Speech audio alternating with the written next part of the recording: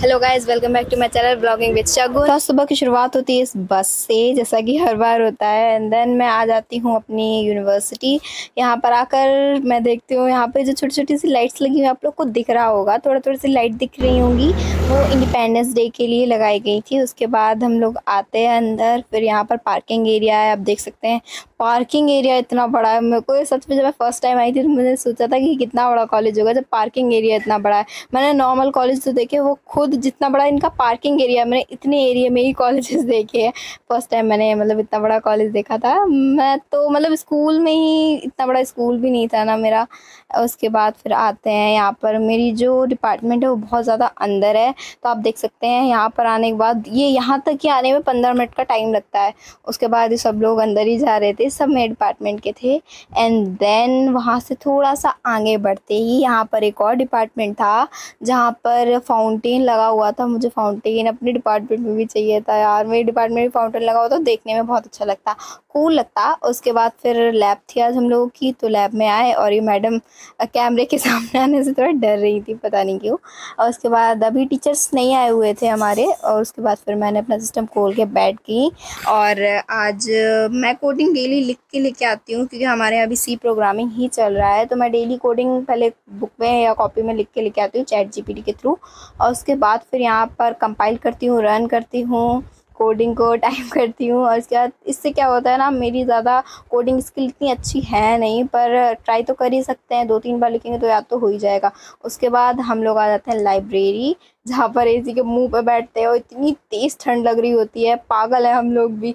अच्छी खासी सीट मिली होती है पर फिर भी हमें यहीं पे बैठना होता है, फिर ठंड लगती है तो दूसरी सीट पे जाने का सोचते हैं, पर थोड़ा नहीं जाते हैं, क्योंकि इतनी ज़्यादा ठंड भी नहीं लग रही होती क्योंकि भैया ने खुद ही एसी कम कर दिया होता है।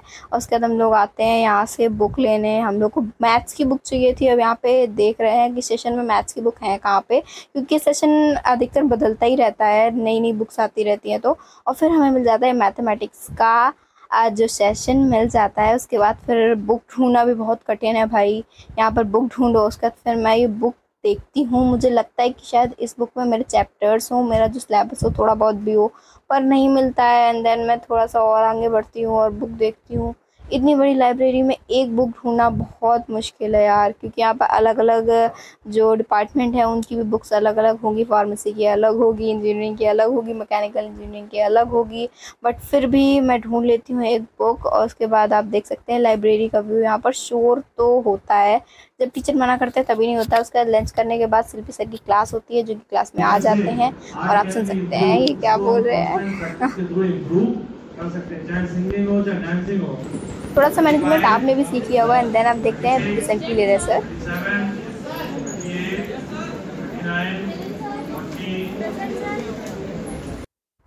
उसके बाद फिर हम लोग पानी भरने आते हैं। यहाँ पर पता है, हमारे यहाँ पे जो फीज़र लगा हुआ है, वो थर्ड फ्लोर पे लगा हुआ है तो हम लोग को इतना ऊपर चढ़ कर आना पड़ता है गाइज़ और उसके बाद चल चल के जल्दी जल्दी जाते हैं, क्योंकि हमारी इसके बाद भी तुरंत क्लास लगी होती है। वैसे टीचर खुद ही दस मिनट लेट आते हैं बट फिर भी हमारा तो मतलब होता है कि हम लोग अपने टाइम पर ही आएँ, क्योंकि हम लोग को बॉटल भरने जाना था और प्यास तो बहुत लगती है। तो इसीलिए चल पड़ते हैं बॉटल भरने के लिए, फिर फ्रीज़र से बॉटल भरते हैं।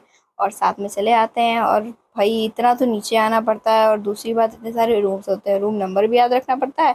और इतनी ऊपर से नीचे आने का कौन से साइड से आए थे, कौन से साइड से जा रहे हैं, ये सब भी याद रखना पड़ता है। अभी नए नए है ना, इसलिए अभी आदत नहीं है। जैसे ही आदत हो जाएगी फ़र्स्ट सेकेंड सेमेस्टर तक, तब समझ में सब कुछ आने लगेगा और फिर जल्दी भाग के जाते हैं गाइस बट मैंने कहा कि शूटिंग तो कर ही लें, क्योंकि बीच में तो टाइम नहीं मिलता है क्लास के, क्योंकि फिर क्लास पढ़ेंगे या शूटिंग करेंगे। एंड देन हम लोग आ जाते हैं अपने फ्लोर पे। सेकंड फ्लोर पे हमारी क्लास थी तो हम लोग भाग भाग के जाते हैं। शायद सर ना आ गए क्योंकि टाइम तो लगता ही हम लोगों को भी टाइम लगा होगा।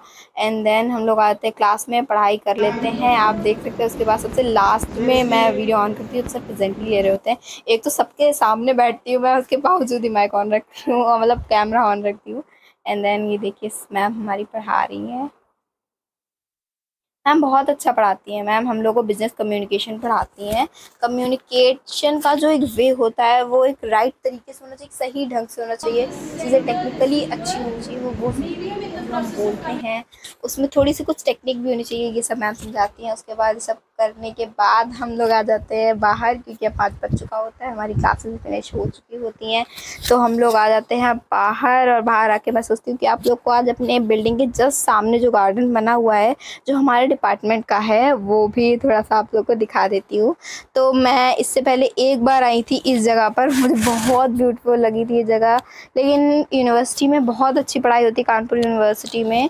इस वजह से मतलब आपको एक भी सेकेंड का फ्री टाइम नहीं मिलता। अगर टीचर एबसेंट है, तभी आपको फ्री टाइम मिलेगा, वरना कोई भी फ्री टाइम नहीं कि मतलब टीचर कोई भी इस इरिस्पॉन्सिबल नहीं है, कोई भी टीचर सब बहुत ही अच्छे हैं और ये हमारे यूनिवर्सिटी का कोई ऐसे फ़ंक्शन वगैरह होता है या कोई फेस्टिवल वगैरह होता है तो ये सेलिब्रेट करने की एक जगह होती है जहाँ पर सिंगिंग या सिंगिंग कॉन्सर्ट डांसिंग कॉन्सर्ट इस तरीके की चीज़ें यहाँ पर होती हैं। और मतलब आपको मैंने वो प्लेटफॉर्म दिखाया ही था और ये गार्डन भी बहुत ब्यूटीफुल है। यहाँ पे जो वाइट वाइट कलर के फ्लावर लिखे हैं फ्लावर लगे हुए हैं मुझे बहुत प्यारे लगते हैं।